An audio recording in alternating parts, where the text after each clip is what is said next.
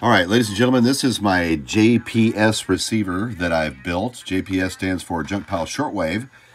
It started life back in 1981 as a TX520 Pioneer AM FM stereo receiver.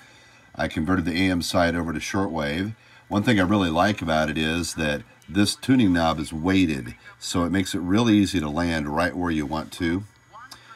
Um, I've had a lot of people ask what kind of band spread this has. I can tell you this much, where, where it's at right now, that's about 7.5 megahertz right there.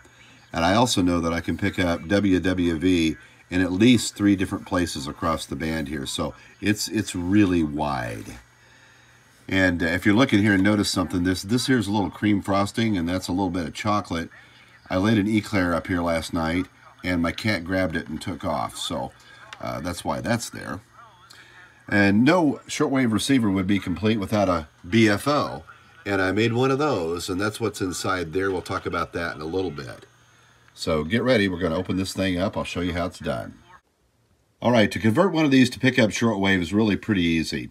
Look for the ferrite rod with the copper, very fine copper wire wound around the end of it. That's the AM antenna coil.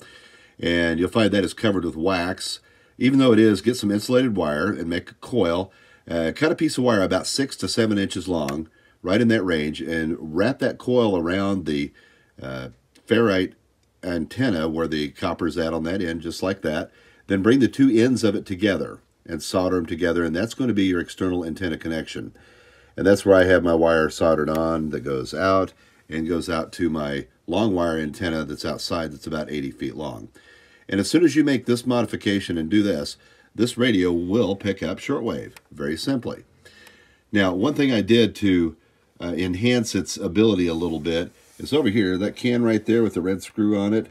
Um, that's very important. What I did is I found another, I had another radio and I tuned it very high to a station on the high end of the AM band.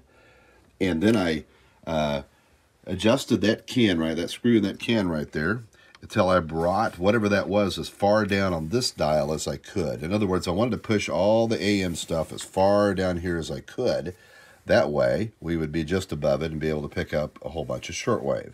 So that is something you'll have to experiment with, but it's not too not too hard at all. Next is the uh, BFO, which is homemade. This is an old AM/FM transistor radio. I am running it by battery because it's a lot cleaner. There's no hum. I couldn't seem to find a place to pick up power in here or even with a wall pack power supply that didn't induce hum, so I'm running it off batteries. So the power wires go out. But to make a BFO out of an old AM radio, for me, was very simple. I took a piece of insulated wire. I found the can, looked for the can with the uh, red screw in it. In this case, it had red paint. Uh, very close to the tuning capacitor. And right next to that can, there will be a little coil, as you can see right there. I took my wire, I just simply ran it right down the middle of that coil. And it just goes through there a little bit and stops. That wire comes out and goes actually out, and it comes back. And this far lug, uh, the left, uh, the far left lug here that you see is the AM external AM radio antenna connection, and that's where I landed that wire. All right. And next, I'm going to show you how the BFO works.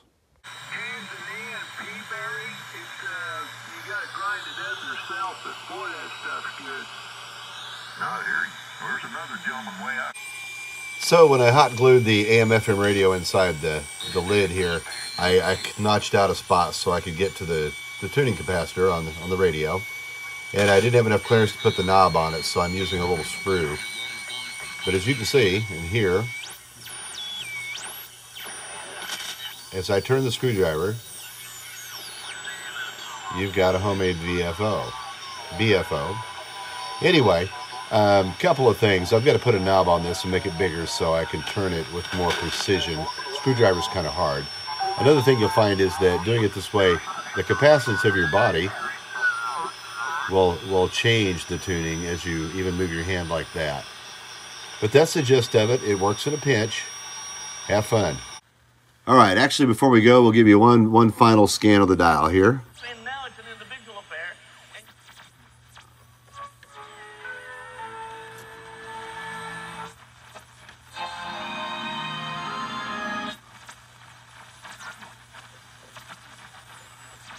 All right, have fun and thanks for watching.